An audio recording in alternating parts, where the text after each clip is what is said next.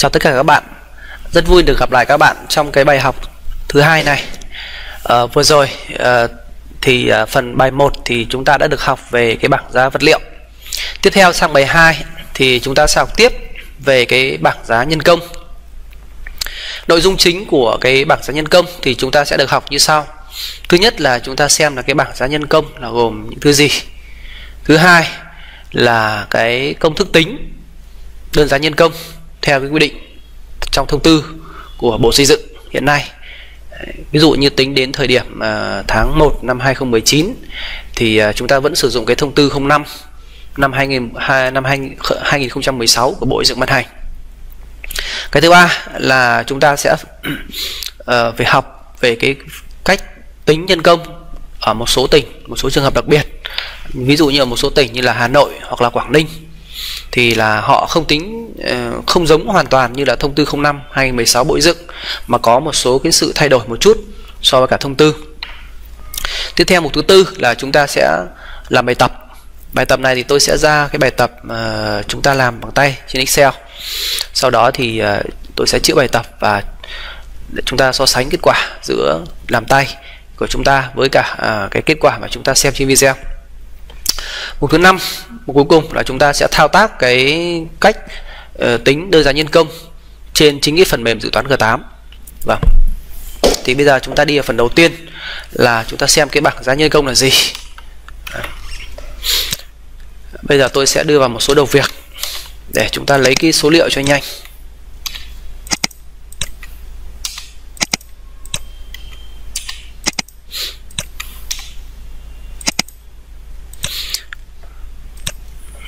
Rồi, đây chúng ta nhìn thấy bảng giá nhân công. Thì chúng ta thấy khi mà tính toán ấy thì ờ, chúng ta thấy có một cái bảng nhân công như sau. Đấy, và bây giờ chúng tôi định nghĩa uh, cũng xin ờ, mở ngoặc với các bạn nhắc lại là tôi lấy đơn vị là một công trình, một cái dự án ra để uh, hướng dẫn các bạn. Cho nên cái đơn cái định nghĩa nó sẽ xoay quanh các cái bảng biểu nó sẽ xoay quanh cái một công trình hay một cái dự án đó thì à, tôi định nghĩa rất đơn giản để thực hành ạ là cái bảng giá nhân công là bảng thể hiện các chủng loại nhân công đấy, thợ các loại nhân công trực tiếp tham gia thi công xây công trình của chúng ta.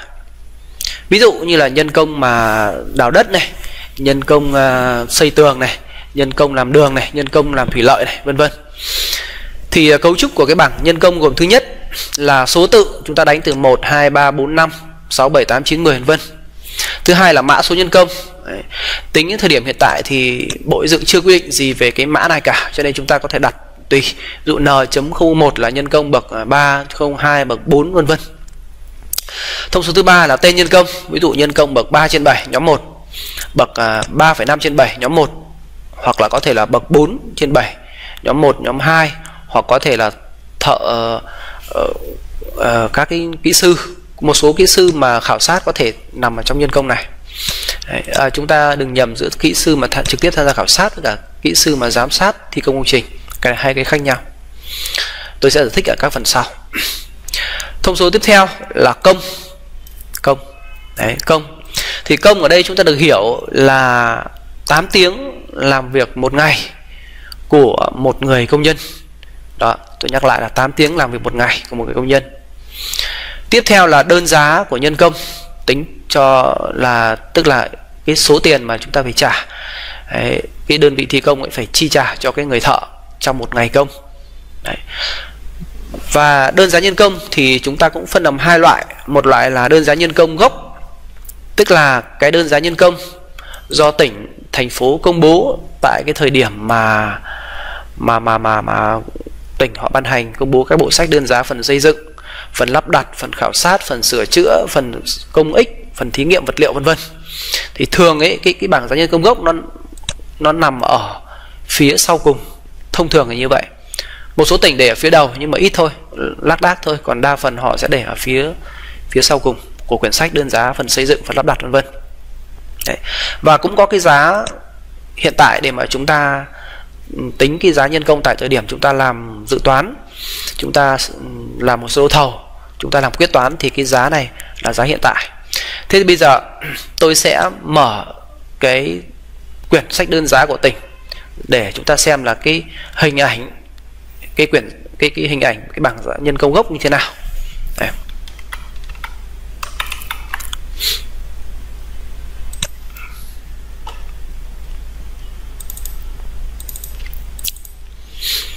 Tôi quay trở lại cái một tôi lấy bất kỳ một cái quyển sách đơn giá uh, cái uh, quyển đơn giá xây dựng công trình tỉnh điện biên phần xây dựng. Thì uh, tôi lấy ngẫu nhiên một tỉnh thôi để tôi uh, đưa làm ví dụ để mà hướng dẫn các bạn. Trong hôm nay tôi lấy tỉnh điện biên phần xây dựng. Thì đây là cái tờ bìa ngoài cùng của quyển sách. Quyển sách này nó dày cỡ độ khoảng vài trăm trang bốn năm trăm trang ở đấy và tôi không chính xác lắm vài trăm trang. Đấy và uh, số lượng đầu việc lên đến sáu bảy nghìn đầu việc gì đấy đại loại vậy. Thế thì ở đằng sau cùng của quyển sách này thì nó sẽ có một cái bảng giá nhân công như sau.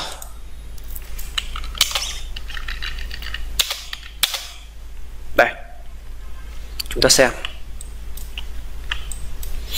Đơn giá xây dựng công trình, tỉnh điện biên, phần xây dựng.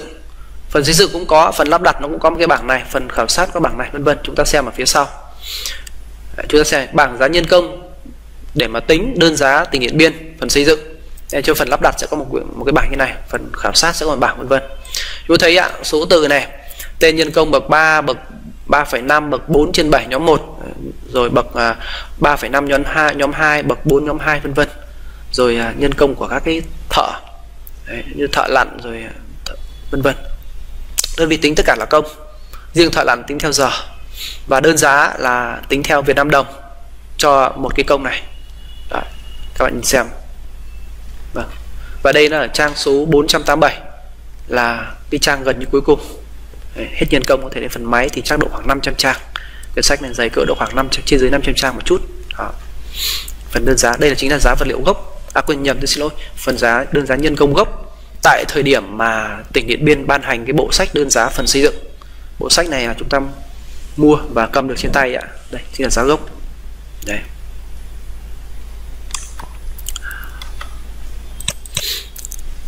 Lát nữa tôi sẽ quay trở lại tính cái giá hiện tại này sau. Ừ.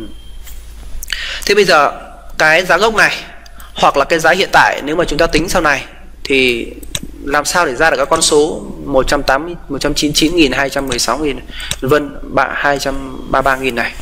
Thế thì uh, chúng ta sẽ lấy ừ, chúng ta tính toán cái con số này ở đâu ra? Vâng thì bây giờ chúng ta sang mục 2 nhỏ trong cái bài học này là cái công thức tính đơn giá nhân công. Rồi.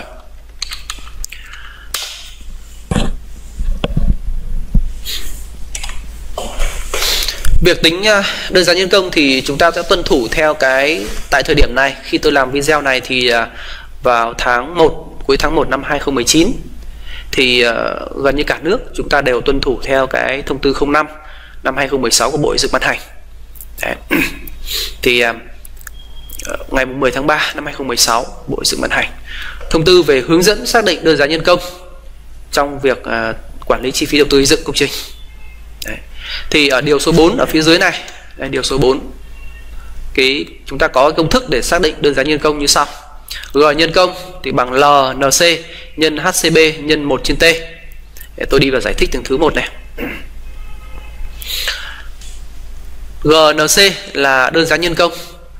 Đấy, là để mà chúng ta xác định được là chúng ta sẽ phải tính toán. LNC là mức lương đầu vào, mức lương đầu vào. Và cái mức lương này là họ cũng quy định, họ dẫn chi tiết ở phía dưới này này. Đấy. Và lưu ý rằng là cái mức lương đầu vào này thì là mỗi một tỉnh họ sẽ công bố một mức lương đầu vào riêng. Đấy. mặc dù ở bảng phụ lục số 1 sẽ có, nhưng mà thông thường thì à, ở bảng số 1 có cái này nhưng mà thông thường chúng ta không sử dụng được. Đây mức lương đầu vào bảng số 1 có. Đây bảng số 1 phụ lục 1 thì vùng 1 là từ 2 triệu 350 đến 2 triệu 530 thế nhưng mà như thế này thì chúng ta sẽ có rất nhiều con số. Ví dụ 2 triệu 350 cũng đúng. Ví dụ như là 2 triệu tư cũng đúng 2 triệu rưỡi cũng đúng 2 triệu 510 nghìn cũng đúng. Thế chúng ta không biết lấy con số nào cả. Tương tự như vậy các vùng 2 vùng 3 vùng 4 thì nó có một cái khoảng. Thì căn cứ vào cái thông tư này kết hợp với việc khảo sát thực tế thì các tỉnh họ sẽ cho một cái con số cố định. Vùng 1 là bao nhiêu? Là một con số. Vùng 2 là bao nhiêu? Là một con số. Vùng 3 bao nhiêu là một con số? Và vùng 4 là bao nhiêu một con số? Chứ không phải như này. Cho nên là chúng ta sẽ áp dụng cái mức đầu vào này tuân thủ theo quy định của tỉnh. Đấy, ví dụ chúng ta làm ở tỉnh Hải Phòng chúng ta quyết định theo quy định của tỉnh Hải Phòng. Chúng ta làm ở tỉnh ở Thành phố Hồ Chí Minh thì chúng ta sẽ tuân thủ theo Thành phố Hồ Chí Minh. Và lưu ý rằng là cái mức lương đầu vào này là ở đây bộ dựng nói là đã bao gồm các khoản phụ cấp lương theo đặc điểm tính chất đấy và đã tính đến các yếu tố thị trường đấy, và các khoản bảo hiểm người lao động phải trả theo quy định. Dụ bảo hiểm xã hội bảo hiểm y tế bảo hiểm thất nghiệp. Ở đây nói rằng là các khoản bảo hiểm mà người lao động phải trả đấy.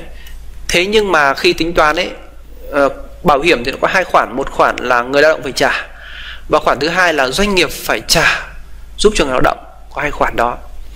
Thế thì cái này là bộ xây dựng nói là bao gồm cái bảo hiểm cho người lao động phải trả. Thế còn cái khoản bảo hiểm do lao do chủ à, cho, do doanh nghiệp ấy do công ty đơn vị thi công ấy mà trả bảo hiểm cho người lao động thì nằm ở đâu?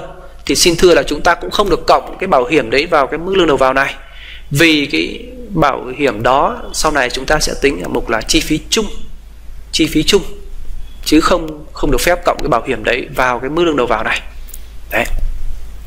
Đấy điểm lưu ý thứ nhất điểm lưu ý thứ hai là trong này bộ xây dựng nói rằng đã bao gồm các khoản phụ cấp lương theo đặc điểm tính chất. Đấy cho nên ấy là cái mức lương đầu vào này nó đã bao gồm phụ cấp rồi cho nên sau này chúng ta tính ấy, là chúng ta không được đưa các phụ cấp vào. Ví dụ phụ cấp lưu động này phụ cấp uh, lương phụ nghỉ lễ nghỉ tết nghỉ phép này Ờ, vân vân, là chúng ta không được cộng các phụ cấp ấy vào như ngày xưa nữa. Đấy. trước đây là khi chúng ta tính theo nghị định 205 2004 ấy, là chúng ta được cộng rất nhiều phụ cấp. Nhưng bây giờ thì cái phụ cấp đấy đã nằm ở trong cái mức lương đầu vào này rồi. Cho nên bây giờ chúng ta không được cộng thêm lần nữa. Đó. tiếp theo. HCB là ở dưới này, bộ dựng quy định đây là hệ số lương. Và hệ số lương này nó nằm ở các cái bảng phía dưới. Thì lát nữa tôi sẽ mở, chúng ta xem ở phụ 2 phụ lục 2 nó có rất nhiều bảng, chứ không phải riêng một bảng đâu ạ. Lát nữa tôi sẽ mở ra. Thì nhân tiện luôn, tôi nói luôn cái T này là T là thời gian, tức là 26 ngày. Đây bộ dựng quy định 26 ngày trong một tháng. Có nghĩa là một tháng trung bình chúng ta có 30 ngày. Nhưng mà có 4 ngày chủ nhật thì 30 mà trừ đi 4 thì chúng ta sẽ tính là 26 ngày. Ok. Bây giờ chúng tôi quay trở lại cái HCB là cái hệ số lương, bổ dựng quy định ở phụ lục số 2 số 2 chúng ta dở xuống phụ lục số 2 đây phụ lục 2 đây.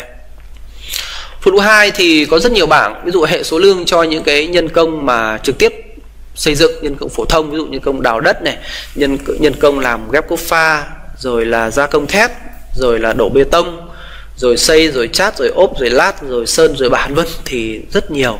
Đa phần cái đó nó nằm ở trong cái bảng số 1 này.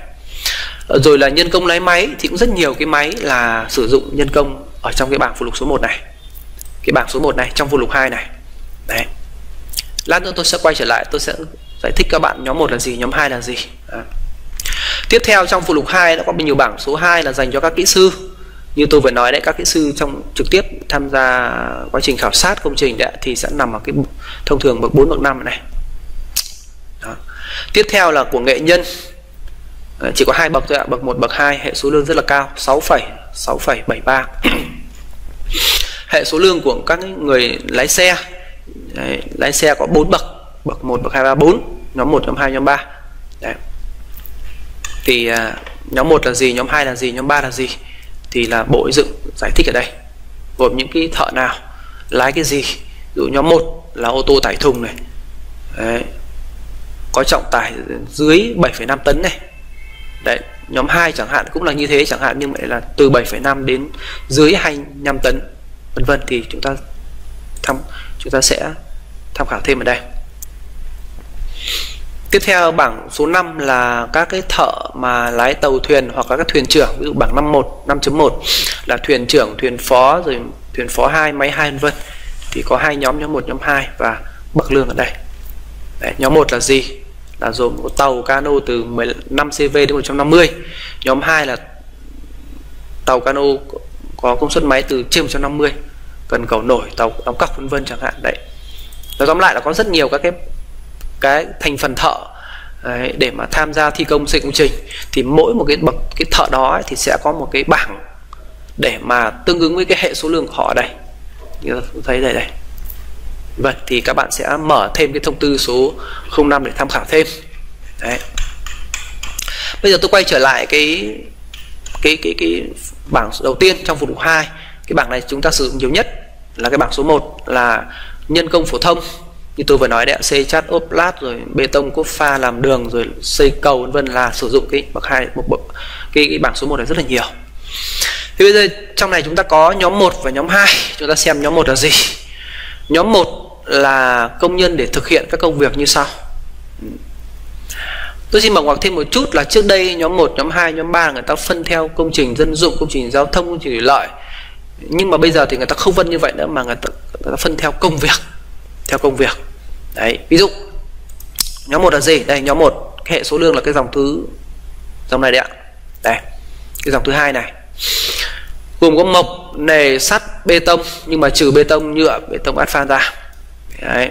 Cốt pha hoàn thiện đào đắp đất ờ, ở đây thì trừ bê tông nhựa là đúng rồi vì lý do là những người thợ mà người ta thi công trên đường đấy, người ta làm đường khi mà trời nắng như đổ lửa như vậy rồi là khói rồi là bụi rồi tiếng ồn như thế người ta thi công trong cái điều kiện rất là khắc nghiệt như vậy thì đương nhiên là không thể để cho người ta là nhóm một được. Thì nó sẽ nằm ở nhóm 2 bê tông nhựa là nhóm 2 nhưng mà bê tông bình thường bê tông trộn bằng xi măng bằng đá đấy bê tông đổ dầm đổ cột đổ sàn vân đấy thì là bê tông bình thường đấy ạ thì là nhóm 1 tiếp theo đến các công tác khảo sát thì cũng là nhóm 1 vận hành các loại máy, ví dụ máy làm đất, máy đào, máy ủi, máy nâng, máy khoan. Và chúng ta lưu ý rằng ở đây có dấu ba chấm đấy ạ. Có nghĩa là tất cả các loại máy. Đấy. Thì những người thợ mà điều khiển, vận hành các loại máy, tất tần tật là sẽ là gì ạ? Là nhóm 1 đấy.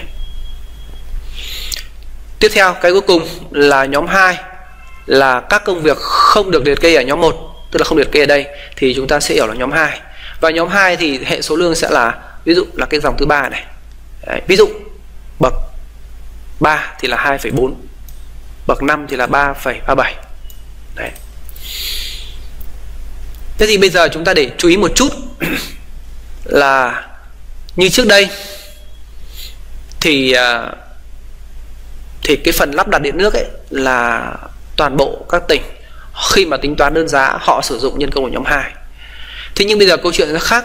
Khi mà bộ dựng người ta ra thông tư 05 hay 16 này người ta quy định lại là phần hoàn thiện. Đây phần hoàn thiện. Đó. Là nhóm 1 nhóm 1 tức là cái dòng số 2 này nhóm 1 đây này hệ số lương này, này. Thế thì chúng ta thấy rằng phần điện nước lắp đặt điện nước trong nhà ấy, phần lắp đặt đấy thì chúng ta hiểu rằng đa phần nó là phần hoàn thiện. Cho nên ấy, khả năng rất cao là chúng ta sẽ phải áp nó hệ số lương theo nhóm 1 chứ không như ngày xưa là nhóm 2 nữa. Bây giờ chúng ta để ý thêm một chút nữa là Bộ Xây dựng nói Bộ Xây dựng quy định trong phần ghi chú này mộc, nề, sắt. Ồ chúng ta xem mộc là gì? Mộc là những thứ mà liên quan đến cửa gỗ rồi là là gỗ, những thứ liên quan gỗ như cánh cửa chẳng hạn hay là khuôn cửa chẳng hạn đấy thì là mộc đấy như vậy là các cái cánh cửa rồi vân vân là chúng ta sử dụng là nhóm một nề cái từ nề này từ mộc từ nề này ấy, thì nó được sử dụng trong dân dã nhiều hơn là trong các cái văn bản khoa học pháp lý. Tuy nhiên khi đưa vào đây rồi thì chúng ta thấy rằng cái từ nề này trong dân dã nó có rất nhiều cái lĩnh vực liên quan nề. Ví dụ như là bê tông cũng là nề ví dụ xây cũng là nề chát cũng là nề ốp cũng là nề lát cũng là nề. Thế như vậy nó bao gồm cái từ nguyên một từ nề này thôi ấy, nó gồm rất nhiều đầu việc ở trong đó. Xây chát ốp lát. Đấy là tất cả là nề rồi bê tông là nề rồi. Thì đây bội dựng thêm từ bê tông nữa. Cho nên chúng ta thấy rằng là uh, như vậy cái phần nổi của một công trình ví dụ công trình dân dụng chẳng hạn là nó một hết rồi. Ngoài ra phần phần đất phần móng thì chúng thấy là đào ạ à, đào đắp đất thì nó cũng là nhóm một. Hoặc đào đắp đất bên ngành bên cầu đường cũng thế mà bên thủy lợi cũng vậy thì cũng là nhóm một. Đó tiếp theo bộ dựng có cái chữ sắt đây. Sắt thì trong công trình xây dựng nó chủ yếu chúng ta hiểu ra là cái thép để cho dầm cho cột cho sàn hoặc là cho cầu. Đó để đổ bê tông thì cái sắt cái thép mà mà đỡ đổ bê tông đó ấy, thì chúng ta hiểu rằng là cái nhân cái thợ người thợ mà người ta gia công lắp dựng cái cái cái thép đó thì cũng hiểu rằng là nhóm một. Hoặc là sắt cái của cái thép UH rồi ờ, rồi là V rồi thép chữ Y đấy là cho các cái vì kèo đấy ạ cho nhà công nghiệp. Thì nó cũng bằng sắt như vậy chúng ta hiểu rằng là các cái vì kèo đó ấy, đấy, cũng là nhóm một. Hay là tường hoa bằng sắt chẳng hạn thì đấy là nhóm 1 tất nhiên bê tông đây rồi các loại bê tông nhóm 1 rồi. Cốt pha tất cả cốt pha giàn giáo vân vân nhóm một hết. Hoàn thiện cái từ hoàn thiện này nó vô cùng là rộng. Nghĩa của từ hoàn thiện này trong dân gian rất là rộng. Ví dụ một chủ đầu tư người ta xây dựng nhà người ta có một cái một dự án người ta nói rằng người ta à, bán đất và xây thô. Có nghĩa là ừ, người ta quy hoạch xong người ta phân các lô xong người ta xây phần thô tức là đến phần ờ, hết phần móng này hết phần bê tông này hết phần xây tường xây tường ngoài. Đấy, xây xây tường uh, xây tường đấy. Ờ, thì là chúng ta hiểu rằng đấy là hết phần thô. Còn phần hoàn thiện có là khi mà một ai đó một gia chủ về mua xong ấy thì họ hoàn thiện người ta người ta người ta sẽ về người ta gì ạ? Người ta à, làm hệ thống điện nước này. Người ta chát này người ta có thể xây bổ sung này rồi người ta ốp lát này rồi người ta hoàn thiện người ta lắp điện nước vào. Đấy thì rồi đến khi người ta ở được đấy người ta lắp cửa giả luôn vào mua đồ thì đấy là phần hoàn thiện. Cho nên cái từ hoàn thiện này nếu hiểu theo một nghĩa dân dã thì nó nó rất là rộng rất nhiều cái công việc đi theo phần hoàn thiện. Đấy, lắp đặt điện nước trong nhà chúng ta hiểu phần hoàn thiện đó. sơn bả chúng ta cũng hiểu là hoàn thiện rồi lắp cửa kính rồi là làm cửa uh, gỗ chẳng hạn chúng ta cũng hiểu là hoàn thiện đó. chúng ta lập mái vân vân sau này chúng ta cũng hiểu đấy là phần hoàn thiện như vậy cái chữ hoàn thiện nó chỉ có hai từ thôi nhưng mà nó có vô cùng nhiều công việc đi kèm theo nó cho nên nếu như mà ngồi mà để ý kỹ mà nhìn các công việc mà thuộc lĩnh vực xây dựng dân dụng giao thông thủy lợi công nghiệp và hạ tầng tất nhiên là với những công việc mà khối lượng lớn được sử dụng thường xuyên đó, thì chúng ta thấy rằng hầu hết nó nằm ở nhóm 1 nhưng nhóm 2 tất nhiên là có, nhưng mà cái số lượng đầu việc nó rất là ít. Hoặc là nó khối, nó có nhưng mà cái khối lượng nó không đáng kể. Đó. Thế, như vậy tôi lưu ý các bạn là gì ạ? Sau này chúng ta phân nhóm là theo cái ghi chú này. Và một cách vô cùng máy móc là chúng ta cứ nhìn các đầu việc ở đây để chúng ta xem nó thuộc nhóm mấy. Đó. Không nằm trong cái liệt kê này thì nó thuộc nhóm 2 có vậy thôi. Đấy, có vẻ rất máy móc nhưng thực tế là chúng ta phải làm như vậy đấy ạ. Rồi. Như vậy bây giờ tôi nhắc lại là chúng ta đã biết được cái công thức tính công thức tính cái uh, đơn giá nhân công là gì ạ? Lấy mức lương đầu vào theo tỉnh quy định. Nhân với cả hệ số lương chia cho 26 ngày. Đấy. 26 ngày. Bây giờ chúng ta sẽ làm một cái bài tập Rồi bây giờ tôi sẽ ra một cái bài tập ở trên à, một cái file Excel Các bạn theo dõi đề bài và tính đơn giá nhân công bậc 3,0 trên 7 nhóm 1 tại tỉnh Hải Phòng.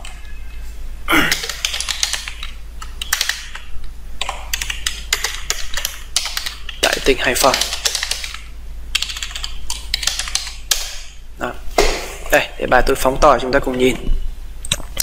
Tính đơn giá nhân công bậc 3 trên 7 nhóm 1 tại tỉnh Hải Phòng. Đấy. Thì bây giờ tôi nhắc lại à, cái công thức tính đúng không ạ? Công thức tính của chúng ta là điều 4 trong thông tư 05 2016 được chưa là chúng ta sẽ tính theo công thức này đấy thế bây giờ cái gợi ý của tôi là công thức như này. Thì à, bây giờ cái gợi ý thứ hai gợi ý thứ hai của tôi sẽ là cái à, cái gợi ý thứ hai. À, đây. Gợi ý thứ hai là về cái um, mức lương đầu vào của tỉnh Hải Phòng.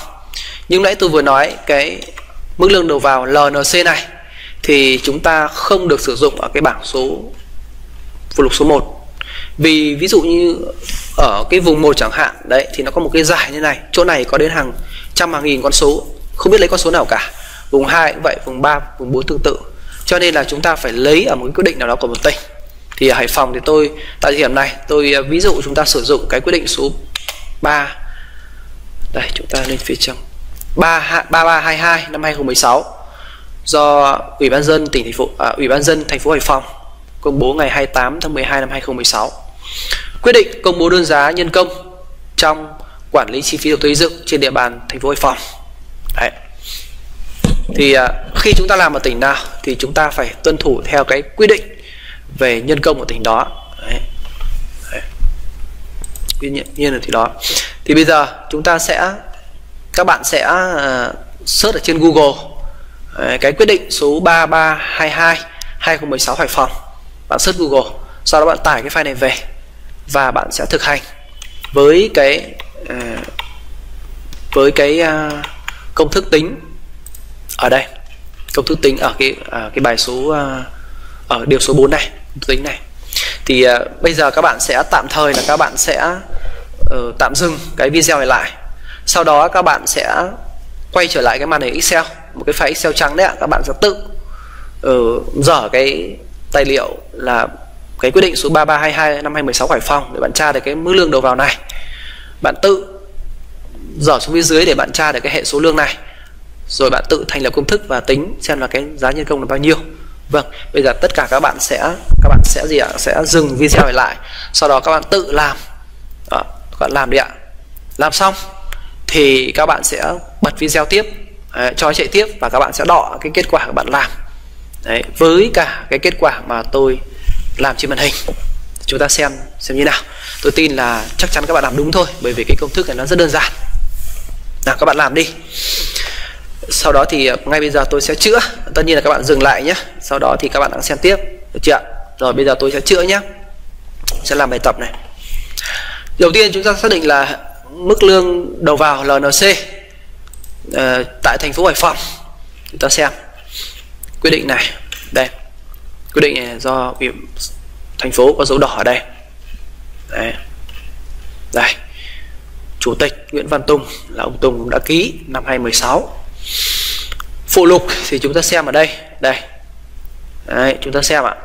Vùng 1 là các quận. À, đề bài chúng ta bảo là tính tại thành phố Hải Phòng đúng chưa thế thì ngon rồi thì chúng ta sử dụng các quận đúng chưa các quận là vùng 1 đúng chưa ạ? Thì mức lương đầu vào là bao nhiêu ạ? 2 triệu 424069 được chưa ạ? 2424069 rồi, chúng ta sẽ làm này.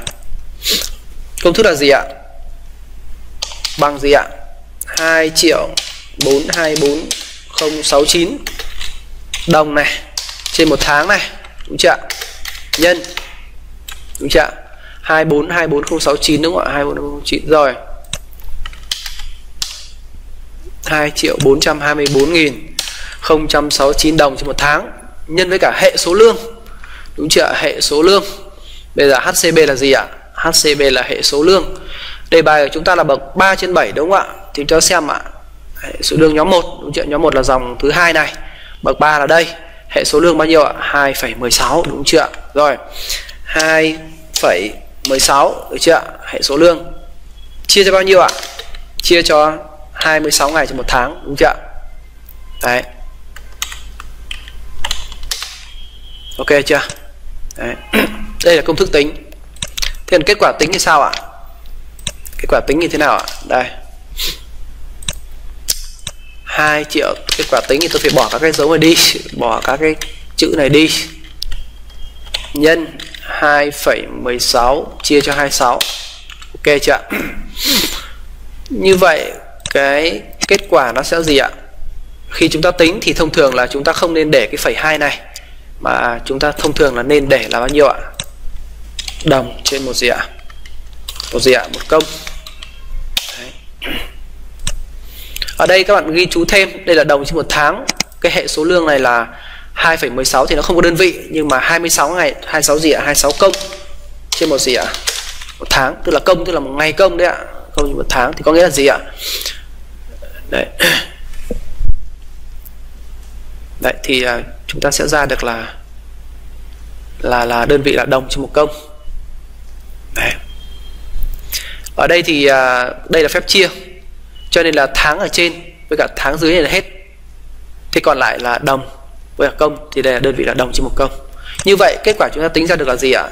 Là đơn giá nhân công bậc 3 trên 7 nhóm 1 tại phòng ừ, tính đến nếu mà tính theo quyết định 3324 đấy à 3322 năm 2016 nó sẽ là 201.384 đồng cho một công. Đây là đáp án đấy ạ. Ok chưa rồi. Đó. tiếp theo. Bây giờ chúng ta sẽ sẽ thao tác ở trên là làm một, một bài tập nữa sau chúng ta thao, thao, thao tác xong bài tập nữa này. Tôi cho sang một cái sheet mới tính đơn giá nhân công bậc 3 phẩy, bậc à, 4 phẩy 3 trên 7 nhưng bây giờ chúng ta lại tính nhóm hai la mã, cũng là tại thành phố Hải Phòng. Tại thành phố Hải Phòng cho rõ. Được chưa tính tại thành phố Hải Phòng.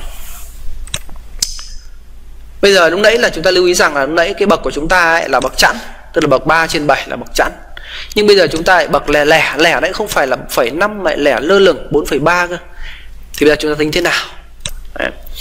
thì bây giờ tất cả các bạn sẽ làm tương tự như cái vừa rồi. Nhưng mà chúng ta tôi gợi ý là chúng ta phải nội suy cái hệ số lương bậc 4,3 trên 7 nhóm 2 này. Và tất cả chúng ta làm đấy ạ. Chúng ta sẽ dừng bấm tạm dừng tạm dừng thôi ạ tạm dừng cái video này lại. Sau đó chúng ta làm trên file Excel phải Excel trắng chúng ta phải tự thành lập công thức tự tra bảng tự hết tất cả mọi thứ. Sau đó làm xong thì các bạn sẽ tiếp tục cái video này. Các bạn sẽ cho nó chạy tiếp để các bạn so sánh đối chiếu kết quả của các bạn xem là thế nào. Ok chưa ạ? Rồi tất cả dừng lại nhé tạm dừng lại nhé Đấy, sau đó hãng xem. Rồi thì bây giờ tôi sẽ chữa. Tôi sẽ làm cái bài tập này. Đầu tiên là chúng ta phải xác định được cái đơn giá của hải uh, cái đây cái công thức thì nó vẫn vậy thôi nhưng nó sẽ hơi khác một chút.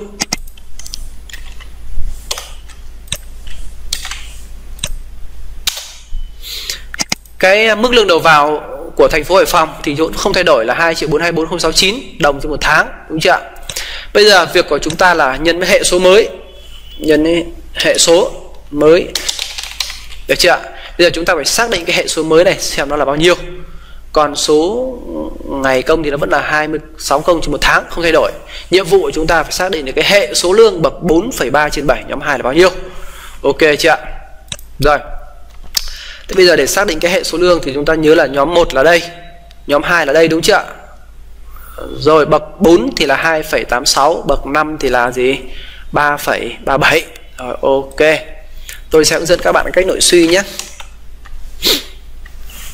nội suy hệ số lương này.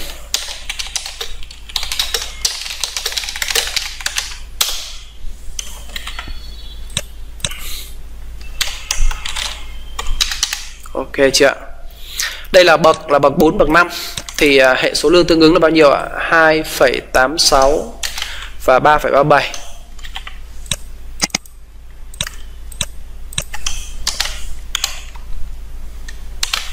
Rồi. Thế bây giờ cái hệ số lương bậc 4,3 trên 7 là bao nhiêu? Đúng chưa? Giờ thì chúng ta sẽ nội suy như sau. Công thức của chúng ta này Bằng này. Đầu tiên chúng ta lấy cái biên dưới là 2,86 2,86 mà cộng với cả mỏng ngoặc cái bậc 4,3 này mà trừ đi bậc 4 là cái biên dưới. 4,3 mà trừ đi 4 này. Nhân với cả mỏng ngoặc cái số ra chia ra ta lấy cái 3,37 cái biên biên biên biên dưới trừ biên trên chia biên dưới trừ biên trên. 3,37 mà trừ đi cái hệ số lương bậc 4 là 2,86 chia cho mở ngoặc cái bậc dưới là bậc 5 và bậc trên là bậc 4 là 5 trừ đi 4 đóng ngoặc. Đó. 4,3 rồi. 4,3 đúng rồi nhân với cả cái này chứ. Đúng rồi. Và bây giờ chúng ta xem là bao nhiêu. Tôi sẽ copy công thức này lại.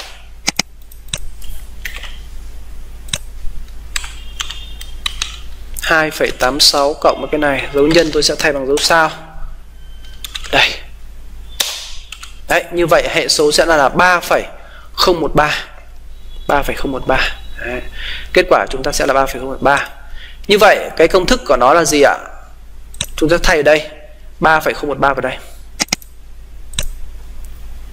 Hệ số mới chúng ta sẽ là gì ạ?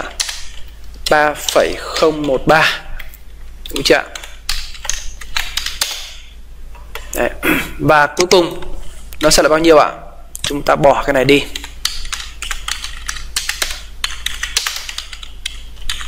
Thay bằng dấu nhân. Ok quên chữ tháng ok đấy à, chúng ta bỏ cái dấu phẩy đi tôi không cần thiết như vậy bậc à, 4,3 trên 7 sẽ là 280.000 đồng trên một gì ạ? Một ngày công. Đó. 280.912 đồng cho một ngày công. Đó là cái đó là cái cái đấy như vậy bậc 3 là có 201 thôi ạ. Bậc 4,3 là 280. 280.912 đồng trên một công. Đó.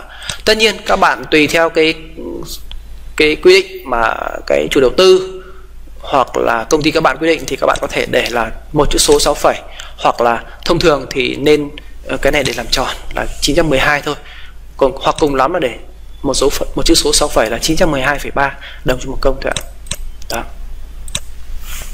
đấy như vậy là vừa rồi tôi đã hướng dẫn các bạn cái cách thực hành có hai ví dụ. Ví dụ thứ nhất là rất đơn giản. Chúng ta áp dụng luôn cái hệ số này mà không phải nội suy là 2,16 trường thứ hai là hệ số của ta là cái bậc nhân công của chúng ta lại là bậc lẻ. Nhóm khác thì nhóm 2 thì chúng ta phải nội suy ra được cái 3,013 này. Ừ. Sau này trong tất suốt cái khóa, khóa học này ấy, thì cái việc nội suy sẽ sử dụng rất là nhiều. Ví dụ như sau này các bạn sẽ phải sử dụng để nội suy các hệ số chi phí chung uh, nội suy các cái tỷ lệ cho các cái định mức về tư vấn. Đầu tư dựng ví dụ tỷ lệ về thiết kế phí bao nhiêu tỷ lệ về giám sát phí là bao nhiêu phần trăm vân vân. Thì cái cách nội suy sẽ gần gần giống tương tự như này. Chỉ có khác số liệu thôi còn cách nội suy công thức nó gần gần giống như này. Nó giống hệt như này chỉ khác mỗi con số áp vào thôi ạ. Đó. Thì các bạn à, nếu mà các bạn bên khối kỹ thuật thì nắm được rất rõ cái công thức nội suy này. Tuy nhiên những bạn nào mà thuộc các khối kinh tế tài chính ra thì có thể là cái cách nội suy này có thể hơi mới thì các bạn xem thêm uh, thực hành lại và tìm hiểu thêm cái cách nội suy này nhé. Ok.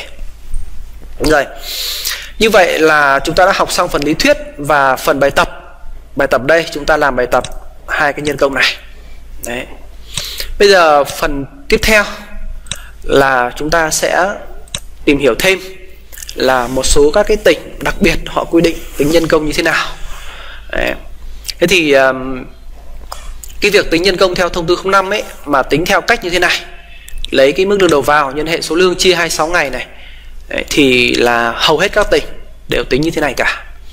Tuy nhiên có một một hai tỉnh đặc biệt là họ quy định nó hơi hơi khác một chút.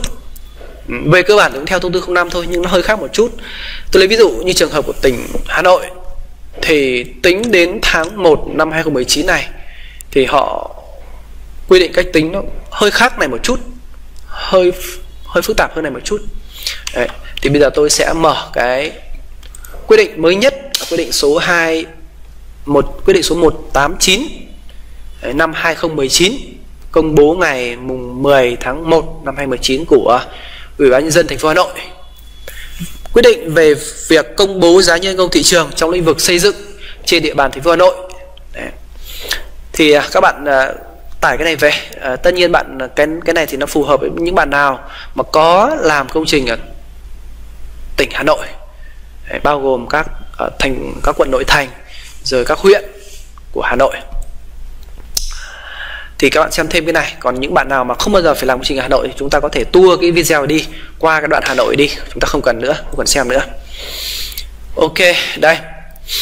Phụ lục bảng giá nhân công thị trường thành phố Hà Nội kèm theo quyết định số 189 năm 2019 của ban dân thành phố Hà Nội thì Hà Nội có phân làm 3 vùng vùng thứ nhất ở cái dòng này ờ, là các quận và hai cái huyện là huyện Thanh Trì và huyện Gia Lâm Vùng số 2 là huyện Đông Anh, Sóc Sơn, rồi Trương Mỹ, rồi thị xã Sơn Tây. Thế còn cái mà không được liệt kê ở hai vùng 1 2 thì chúng ta hiểu nó là vùng 3 thì ở dòng cuối cùng. Đấy. Mỗi một vùng thì Hà Nội lại phân ra làm ba nhóm thợ khác nhau. Nhóm thợ thứ nhất là phổ thông. Thì ví dụ ở thành phố Hà Nội, các quận chẳng hạn thì là 4 triệu 492 nghìn 555 đồng cho một một tháng. Đấy, lên một tháng Nhóm thứ hai là lao động có tay nghề trung bình và khá thì mức lương là 5 triệu 962 1232 đồng cho một tháng. Và cuối cùng nhóm thứ ba là lao động giỏi 7 triệu 418 685 đồng cho một tháng. Tương tự như vậy, các cái nhóm khác thì mỗi một à, mỗi một nhóm thì sẽ có ba cái nhóm thợ khác nhau. À, thì bây giờ tôi sẽ ví dụ ở các quận nhé, còn các huyện sẽ tương tự thôi ạ. Thì ở đây phía dưới ghi chú là chỗ này họ nói tuân thủ theo nghị 32 này chỗ này bảo cái nhân công này là khảo sát ừ, trên thị trường và tính là 26 ngày trên một công một tháng này tôi nhắc lại đây tài liệu đây người ta ghi rõ này một lần nữa 26 ngày tháng này có nhiều bạn à, thắc mắc tại sao chia 26 thì đây lại một lần nữa tôi nhắc lại nó nằm luôn trong văn bản đây. Cái này thì chưa bao gồm các khoản làm thêm. Ờ, làm đêm chẳng hạn hay là độc hại nặng nhọc thì chưa tính đến. Và ở đây cái quan trọng nhất chúng ta thấy rằng cái văn bản này chỉ có 3 trang thôi ạ. Đây là trang 3 trên 3 chỉ có 3 trang và đây là trang cuối cùng. Thì bộ dựng hướng dẫn đấy à quên tôi xin lỗi. À, thành phố Hà Nội hướng dẫn là uh, cái việc xác định đơn giá nhân công ấy là theo hướng dẫn tại thông tư số 05 2016 thông tư bộ dựng là cái thông tư mà chúng ta vừa học xong. Cách đây một hai phút đúng chưa bộ dựng. Và cái điều quan trọng cuối cùng vô cùng quan trọng trong cái quyết định 189 này ạ là gì ạ? Việc xác định đơn giá nhân công trung bình tương ứng với bậc thợ 3,5 trên 7 được xác định bằng bình quân gia quyền các nhóm lao động phổ thông trung bình khá và lao động giỏi lưu ý là trong cái thông tư 05 ấy ở phụ lục số 3 thông tư 05 đây ạ. Tôi mở lại các bạn xem đây ạ. Thông tư 05 đây ạ. Ở phụ lục số 3 là phụ lục gần cuối này người ta có một cái ví dụ. Đây phụ lục số 3 phương pháp xác định đơn giá nhân công thị trường trong xây dựng. Thì ở phía cuối này người ta có một cái ví dụ. Đây, đây một ví dụ. Một ví dụ là tính đơn giá nhân công các bậc bậc 1 trên 7, bậc 2 trên 7, bậc 4 trên 7, bậc 5, bậc 6 vân trên 7 và cuối cùng ra được đơn giá nhân công ở đây. Thì cái nguyên lý của họ là gì ạ? Họ tính dựa trên cái đơn giá nhân công trung bình bậc thợ bậc 3,5 trên 7. Đấy, thì các bạn uh, tham khảo thêm ở cái trang số 10 và trang số 11 trong cái thông tư 05 2016 về cách tính cách một cái ví dụ về tính đơn giá nhân công, dựa theo đơn giá nhân công trung bình. Ví dụ trong hợp này, người ta đang tính là 220.000 đây đây, một ngày công đấy ta dựa cái này. Đây. Thế thì ý, cái ý của cái mục này này, cái mục, cái cái dòng ba cái dòng cuối này là ý rằng là chúng ta phải tuân thủ theo cái ví dụ này. Chúng ta tuân thủ theo cái ví dụ ở đây. Đây, một cái ví dụ đây ạ. Tuân thủ theo cái ví dụ cách tính như sau. Như ở đây. Đấy. tuy nhiên nó cũng hơi khác một chút. Đấy thế để áp dụng cho Hà Nội thì tôi hướng dẫn luôn ở trên phần mềm cho nhanh để chúng ta nhìn cho dễ. Nhưng mà nhưng mà ý là cái cái cái cái cái nguồn gốc cái, nguồn gốc và cái ví dụ để chúng ta giải trình cho bất kỳ chủ đầu tư nào cho đồng nghiệp nào cho đối tác nào là chúng ta giải trình dựa theo cái ví dụ này ở trang số 10 và cái bảng tính ở trang số 11 ở đây. Ok chưa ạ? Đấy thì ở đây là chúng ta phải xác định được cái đơn giá mấu chốt là chúng ta phải xác định được đơn giá nhân công bậc 3,5 trên 7 đấy. Thì bây giờ chúng ta tính như sau. Đây chúng ta đang dùng Hải Phòng. Là tôi chọn lại Hà Nội. Hà Nội đây. Thì ở đây là tôi chọn là cái quyết định số 189 năm 2019 của Hà Nội tính theo thông tư 05 2016 à, xin mời mở ngoặc các bạn. Trước đó thì Hà Nội có những cái quyết định số 7414 năm 2015 688 năm 2017 và 869 năm 2018 và hiện tại là chúng ta tính theo 189 năm 2019 tất nhiên là cái 86 8, 688, 869 thì về cơ bản cách tính nó giống gần nó tương tự như cái 189 này thôi. Nó chỉ khác nhau về số liệu một chút. Thì tôi hướng dẫn cái tạm 189 vì nó mới nhất và à, nó các thứ còn lại nó tương tự các thứ các luật trước ấy, nó tương tự thì tôi lấy một cái ví dụ điển hình. Tôi chọn là thành phố Hà Nội là các quận đấy ạ quận Ba Đình quận Hoàn Kiếm quận à, Đống Đa quận Hai Bà quận Hà Đông vân vân. Thì cái ý cuối cùng ở đây ạ cái ý cuối cùng là tính theo thông tư 05 và việc mấu chốt là chúng ta phải xác định được cái đơn giá bình quân giao quyền bậc 3,5 trên 7 này. Đấy. Chúng ta tính như sau này. Tôi phóng to chúng ta cùng nhìn. Đầu tiên là chúng ta liệt kê. Các quận nội thành đúng chưa là vùng 1 được chưa thì cái chúng ta liệt kê mức lương đầu vào. Cái mức lương mà mà mà theo thị trường đấy ạ 4 triệu 492 được chưa 4 triệu 492 được kiểm tra lại 4 triệu 492 55 đấy là phổ thông. Trung bình khá là 5 5962 232 phổ thông đấy ạ. Đây, phổ thông, lao động trung bình khá, lao động trung bình khá, tôi xin lỗi, là 5962 3232 cuối cùng là giỏi. Lao động giỏi là 7418685 7418685 đồng ok chưa tôi nhắc lại là các bạn làm ở các huyện như Hoài Đức, huyện Thạch Thất, huyện thị xã Sơn Tây, chúng ta lấy ở dòng thứ hai. Các cái ờ, vùng còn lại, ví dụ như Ba Vì chẳng hạn thì nó không nằm ở đây, không nằm ở đây thì chúng ta sẽ lấy ở dòng số 3 dòng cuối cùng này. Ok chưa để chúng ta đưa vào tính toán. Thế thì bình quân gia quyền nghĩa là gì? Bình quân gia quyền có là cái này này. Nó sẽ bằng gì ạ? Tổng cái này ạ. À, rồi chia cho 3 thì chúng ta sẽ ra được cái này. Thì trong phần mềm nó có đấy ạ. Sum D6 D8 đúng chưa ạ? Đây là đây ạ. 6 D8 mà chia cho gì ạ? Chia cho A8 chính là chia cho cái cái 3 này. Đấy. Tiếp theo đây là 5 triệu chúng ta ra được cái lương bình quân ấy trong một tháng. Đây là là tương ứng với bậc 3,5 trên 7 là 5 triệu 9 57 thế bây giờ chúng ta phải xác định được cái hệ số lương bậc 3,5 trên 7 thì thế nào ạ? Hệ số lượng bậc 3 trên 7 là 2,16 đúng chưa ạ? Chúng ta mở lại luật xem có đúng không? À. đây. 3 trên 7 là 2,16 đúng chưa và 4 trên 7 là 2,55 4 trên 7 là gì ạ? 2,55 thế vậy bậc 3,5 trên 7 thì chúng ta gì ạ? Chúng ta cộng vào chia 2 hay chúng ta nội suy thì thế thôi nó như nhau thôi ạ. Thì chúng ta sẽ ra được gì ạ? 2,355 đó. Đây là lương trong một tháng và đây là hệ số lương của nó. Vậy thì lương trong một ngày công đó à, ừ, ừ, ừ. à, tôi xin lỗi tức là à, như vậy thì cái mức mức lương đầu vào trung bình để tính cho Hà Nội thì sẽ bằng à, mức lương trong một tháng này mà chia cho hệ số lương của bậc bình quân là bậc 3,5 trên 7 Đấy, đúng không ạ? Bình tức là từ bậc 1 bậc 2 đến bậc 7 bình quân của 7 thì chính là 3,5 đúng chưa thì cái này nó chính bằng gì ạ? Mức lương trong một tháng chia cho hệ số lương thì sẽ ra được là mức lương đầu vào trong một tháng tại các quận nội thành của Hà Nội. Ví dụ trong hợp này chúng ta tính ra gì ạ? 2 triệu 529.862 đồng trong một tháng. Và đó sau khi dự sau khi chúng ta xác định được cái mức lương đầu vào là 2 triệu 5 9 29 này này thì chúng ta sử dụng cái này. Sau đó chúng ta áp vào cái công thức. Chúng ta áp vào cái công thức này để chúng ta tính. Đây. Công thức ở điều số 4 ở trong thông tư 05 2016. Đó, điều 4 là gì ạ? Cái mức lương đầu vào LNC này chúng ta đã biết đúng chưa ạ? Là chúng ta tính được 2 triệu 529 Đấy, nhân hệ số lương thì chúng ta biết rồi 26 ngày chúng ta biết rồi chúng ta tính như bình thường. Và bây giờ chúng ta xem. Đây bậc 3 trên 7 bậc 3,5 4 tôi ví dụ. Thì mức lương đầu vào giống hệt nhau. 2 triệu 529862 lấy từ đây ra. Được chưa đây là một tháng lấy hệ số lương nhân mức lương đầu vào hệ số lương đầu vào. Còn đây là trong một ngày công thì sẽ lấy cái này mà chia cho cái 26 ngày đầu vào D39 chính là cái này. Đầu vào là xin đầu vào đấy ạ. Đây là con này. D3 tôi xin lỗi. À, đây là cái làm tròn xin làm tròn.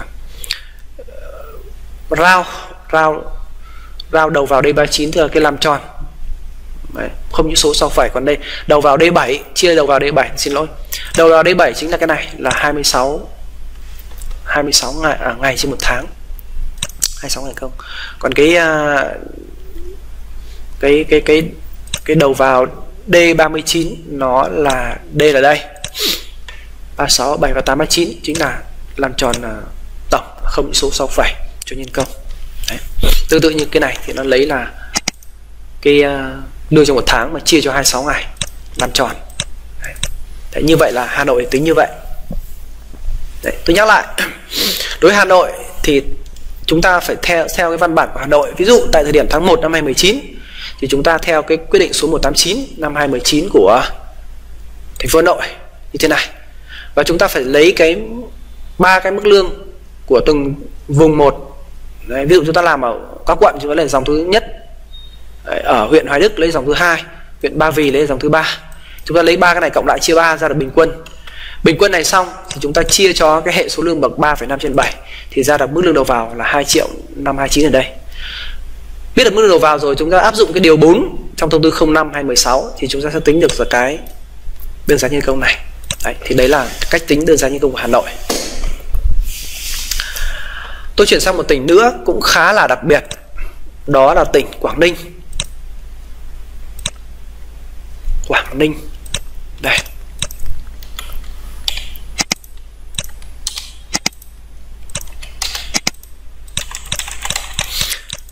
Thì à, Quảng Ninh thì à, họ yêu cầu là tính theo cái tại thời điểm này chúng ta tính theo quyết định số 1919 năm 2015 của Quảng Ninh.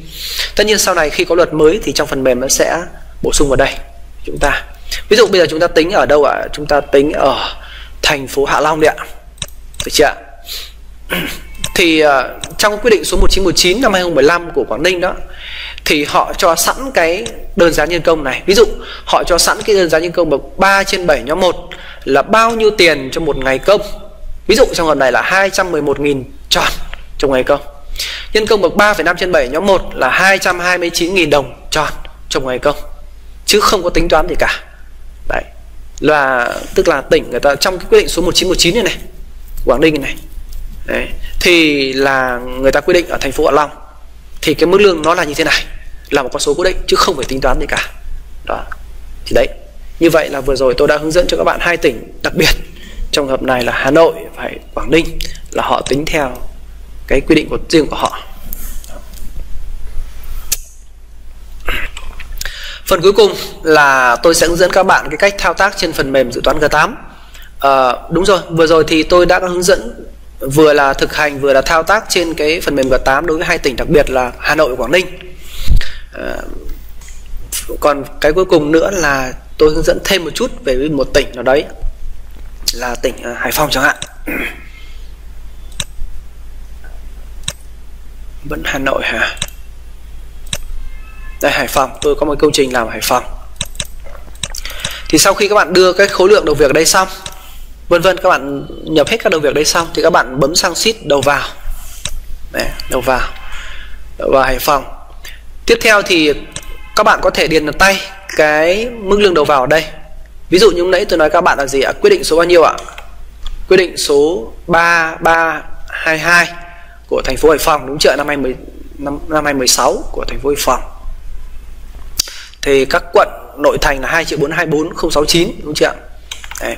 thì các bạn có thể điền sẵn ở đây tùy. Nhưng mà có một cách khác nếu chúng ta không biết luật chúng ta có thể bấm vào mức lương theo vùng ở đây cái nút này. Thì ở đây có rất nhiều các luật.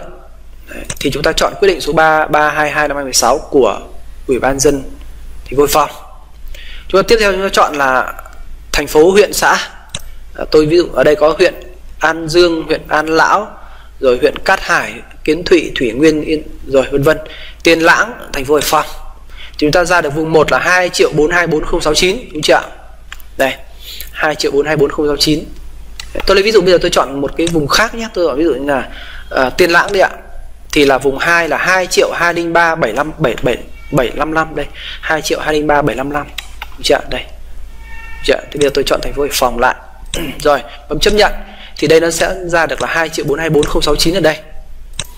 Tiếp theo các cái tỷ lệ phụ cấp này như như trong luật thông tư 05 quy định là cái mức đầu vào 2 triệu 424 này này. Nó đã bao gồm tất cả các phụ cấp mà người mà mà mà người lao động phải trả. Đấy, thế còn cái cái cái cái cái, cái, các cái bảo hiểm thì là là là không ờ, không chúng ta không được đưa vào cái bảo hiểm này. Vì lý do là chi phí bảo hiểm chúng ta không được đưa vào đâu vì là nằm ở trong cái cái uh, chi phí chung sau này uh, doanh nghiệp phải trả cho người lao động chi phí chung đó nó bao gồm cả bảo hiểm rồi. Cho nên nếu chúng ta đưa bảo hiểm ở đây mấy chục phần trăm ở đây ấy, thì chúng ta tính thành hai lần bảo hiểm mất cho nên không được đưa vào đây. Nhưng mà tại sao G8 lại có mục bảo hiểm ở đây rồi tại sao có một cơ số các các phụ cấp đây? Vì chúng tôi dự phòng rằng trong một số trường hợp đặc biệt người ta các bên thỏa thuận với nhau như nào đó thì người ta muốn đưa các phụ cấp vào đây thì sao? Cho nên chúng ta đưa vào đây. Ngoài ra có một mục cuối cùng ở đây là phụ cấp vùng sâu vùng xa khó khăn ăn đỏ. Đấy. thì tôi lấy ví dụ trường hợp của tỉnh Hòa Bình thì họ có một cái văn bản họ quy định về cái cái tỷ lệ để mà phụ cấp cho khó khăn ăn đỏ thì chúng ta nhập vào đây. Hoặc một tỉnh nữa là tỉnh Lai Châu chẳng hạn thì người ta lại có là phụ cấp cho vùng sâu vùng xa k 0,5 k 0,75 gì đấy. Thì mỗi một cái cái vùng đó người ta sẽ có một cái tỷ lệ phần trăm. Thì chúng khi chúng ta làm ở các tỉnh như là Hòa Bình, Lai Châu vân vân đấy người ta có các cái phụ cấp riêng phụ cấp này thì chúng ta điền vào đây là xong. Tuy nhiên trong hợp này thì Hải Phòng là không có phụ cấp gì ở đây cả. Cho nên chúng ta để mặc định là 0% hết ở đây. Các bảng phía dưới liên quan phần máy tôi sẽ nói sau. Còn bây giờ là nhân công thì chúng ta bấm sang nhân công cho chúng ta xem. Đây. Thì phần mềm nó tính cho chúng ta nó tự xác định được cái công trình vừa rồi Cái công trình mà chúng ta vừa nhập đây này. Đấy, công trình thật của bạn nó sẽ có thể có nhiều nhân công hơn. Đấy, thì nó sẽ tự biết được ai công trình đấy sử dụng nhân công nào. Đấy nhân công nào. Và cũng xin mời các bạn tại sao lại có cái nhân công này? Thì uh, tôi cũng nói luôn lát nữa tuy, tuy nhiên trong phần định mức tôi sẽ nói rõ hơn là gì ạ là ví dụ cái nhân cái công tác đào bùn này này thì nhân công bậc 3 trên 7 công tác xây xây móng đá hộc này thì là bậc 3,5 trên 7 Đấy. công tác làm đường này chẳng hạn Đấy. Đấy. thì là làm móng này thì là 4 trên 7 công tác vì kèo chẳng hạn là 4 trên 7 Đấy. thế cho nên là và ví dụ cái công tác vì kèo này là bậc 4 7 là quy định là bộ dựng người ta quy định và các bạn cũng không cần phải suy nghĩ tại sao uh, không cần phải sửa cái này đây là trong định mức của bộ dựng rồi Đấy. Và tất nhiên đến phần định mức thì tôi sẽ nói rõ hơn tại sao lại bậc 4 trên 7 mà không phải bậc 3, không phải là bậc 2 vân vân. Thì tôi giải thích sau. giờ chúng ta cứ biết là à cái bậc 4 trên 7 này nó quy định cho cái công việc AI này. Cái bậc 3,5 trên 7 này nó quy định cho công việc đào xây móng này, có thế thôi. Tôi giải thích thêm sau. Thì nó sẽ liệt kê ra các cái nhân công ở đây, nó tự xác định được cái hệ số lượng ở đây. Nó dựa trên cái mức mức đầu vào của Hải Phòng 2 triệu 424 đấy ạ. Xong nó tính ra chúng ta công thức ở đây lấy cái này chia 26 ngày thì đây chính là cái đơn giá nhân công của nó đấy tiếp theo cái đơn giá nhân công này nó chưa sử dụng ngay được vào công trình cho đến khi mà bạn chúng thấy ạ bên xin giá tháng ạ thì hai cột này nó vẫn bằng nhau và cột này là màu xanh chứ chưa có gì thay đổi cả. À vẫn là màu đen chưa có gì thay đổi cả. Cho đến khi mà bạn sang đây bạn tích là linh nhân công. Đấy. nó hỏi là bạn có chắc chắn linh sang bên giá tháng hay không? Bạn bấm yes. Thì lúc đó ấy, cái cột này này nó sẽ được linh qua đây. Sẽ linh qua đây. À, tuy nhiên trong hợp này thì do cái đơn giá của Hải Phòng này 3050527 này thì họ sử dụng chính cái cái mức lương đầu vào là 2 triệu 424069 này. Cho nên là trong hợp này nó có linh có thấy công thức linh đấy ạ. Nhân công S8 này S9 đúng chưa và đây là S S11 8 đến 11 đúng chưa S ở đây, đúng chưa 8 9 10 11 đây 8 đến 11 đây. Nó có linh nhưng mà chẳng may cái giá trị đã trùng nhau. Để cho nó rõ hơn thì tôi có thể chọn vùng khác nhé. Tôi chọn một cái à, huyện khác đây. Tôi chọn huyện Vĩnh Bảo đây ồ oh, nó vẫn là 2 triệu 4 chưa được. Tôi chọn huyện Tiên Lãng đây. 2 triệu 2 rồi nó khác đi. Đấy. thì lúc này cái câu chuyện nó sẽ khác. 2 triệu 203 Thứ này đơn giá nhân công nó sẽ khác đi. Và nó lên xã linh qua đây Thì chúng ta thấy ạ Dưới huyện thì bao giờ lương nó cũng giảm đi đúng chưa Và nó giảm đi sẽ đổi màu đỏ cho các bạn. Đây. Tôi nhắc lại ạ Nếu chúng ta không tích vào đây thì cái nhân công ở đây này nó là những cái nhân công mà do các bạn gõ trực tiếp hoặc là nó sẽ thông thường nó sẽ bằng với nhân công gốc. Đó nhân công nhân công gốc, ờ, nhân công gốc cho tỉnh vận hành. Cho đến khi mà bạn sang đầu vào bạn tích vào đây hoặc bạn sang nhân công bạn tích vào đây tùy đâu cũng được bạn tích vào linh nhân công thì nó mới linh từ cái cột là cột S là cột đơn giá nhân công đây ạ. Sang bên cái cột S tương ứng với cả cái phần nhân công này. Ok ví dụ đây ạ bằng nhân công S8 đây ạ bằng nhân công S11 đây ạ. Đấy. như vậy là à, vừa rồi trong à, bài học thứ hai này là tôi đã hướng dẫn các bạn đầy đủ bài sổ bài, bài số 2 Đấy, là cái bảng nhân công là gì này công thức tính theo thông tư 05 điều số 4 trong thông tư 05 năm 2016 do Bộ Dựng ban hành Đấy. Ờ, rồi à, hướng dẫn cái việc tính đơn giá nhân công ở một số tỉnh điển hình như là Hà Nội, Quảng Ninh là đặc biệt thế còn à, tính chung chung ấy, theo thông tư 05 à, thì là tính theo Hải Phòng rồi các bạn đã được thực hành tự tay các bạn thực hành tự tính trên một cái file Excel trắng trơn tự tra bảng tự thành lập công thức và tự xác định cái giá trị nhân công bậc 3 trên 7 bậc 4,3 trên 7 đúng chưa ạ? Và tôi đã hướng dẫn các bạn tất cả các thao tác trên phần mềm dự toán G8 rồi. Đấy. Thì bây giờ à, các bạn sẽ dừng cái video này lại và các bạn có thử xem mở cái bài tập mà các bạn làm thêm là gì ạ? Các bạn sẽ mở uh, cái công trình mà các bạn đang làm. Có thể là cái công trình mà các bạn đang uh, thiết kế hoặc cái công trình mà các bạn đang trực tiếp thi công. Hoặc nếu các bạn đang là sinh viên chẳng hạn thì các bạn cứ giả định đi ạ một cái công trình nào cũng được. Xong bạn xem là cái công trình đó nó gồm những nhân công gì? Bậc 3 trên 7 bậc 3,5 trên 7 bậc 4 trên 7 Đấy, hay là uh, thợ ờ, thợ lặn chẳng hạn hay là thủy thủ chẳng hạn hay là máy ủi máy đào thì các bạn xem là họ sử dụng nhân công nào. Và các bạn tính cho tôi thử ba bốn cái nhân công ờ, thực tế mà cái công trình các bạn đang làm đang thiết kế hoặc công trình bạn đang thi công. Ok chưa ạ? Vâng, đấy. thì tôi rất hy vọng là các bạn sẽ tự làm thêm một vài cái ví dụ nữa thì các bạn sẽ nắm rõ cái bài học này hơn. Vâng cái video này tôi sẽ xin được uh, kết thúc tại đây. Xin chân thành và cảm ơn tất cả các bạn đã theo dõi ờ, và học tập ờ, theo cái sự dẫn của tôi. Ờ, tôi rất mong được gặp lại các bạn ở cái bài số 3 bài số 3 sẽ nói về uh, phần đơn giá uh, sẽ sẽ nói về về mục uh, đơn giá ca máy. Uh, rất nhiều những cái phần liên quan đến công trình của bạn sau này liên quan đến máy công trình nào cũng có thì tôi sẽ dẫn các bạn cái phần tính đơn giá ca máy. Ờ, và cuối cùng ờ, tất cả mọi cái ý kiến đóng góp xin các bạn sẽ vào trang web là dự toán g8.com để ờ, trao đổi với chúng tôi. Đây các bạn mở Google Chrome hoặc cốc cốc sau đó thì các bạn gõ và cái thanh địa chỉ trên này là gì ạ? Dự toán g8.com sau đó thì các bạn vào mục liên hệ ở đây. Thì có rất nhiều cái trụ sở chính ở Hà Nội ở đây. Đấy, các số điện thoại ở đây. tại thành phố Hồ Chí Minh tại Đà Nẵng tại Nghệ An vân vân tại Bình Dương Cần Thơ Phú Yên và các đại lý và các đường dây nóng ở đây. Các bạn sẽ liên hệ với chúng tôi. À, các bạn có thể làm công trình vướng có thể quá trình học các bạn vướng gì đó các bạn có thể liên hệ qua các cái số điện thoại các cái um, email. Các bạn có thể gửi mail vào dự toán g 8 dâu com. Các bạn có thể gửi mail cả hai cái này cho chắc đi ạ. Vâng gửi mail cho chúng tôi. À, tôi khuyến khích các bạn nên gọi theo gọi điện thoại điện thoại trước về các cái đường dây nóng này. À, ví dụ từ 8 giờ sáng mà đến ờ, uh, 5 giờ chiều từ thứ hai từ thứ hai và sáng thứ bảy đấy, thì uh, chúng ta sẽ gọi theo các số này. Còn uh, các giờ khác thì các bạn có thể gọi theo các số mobi này để chúng tôi hỗ trợ. Đó.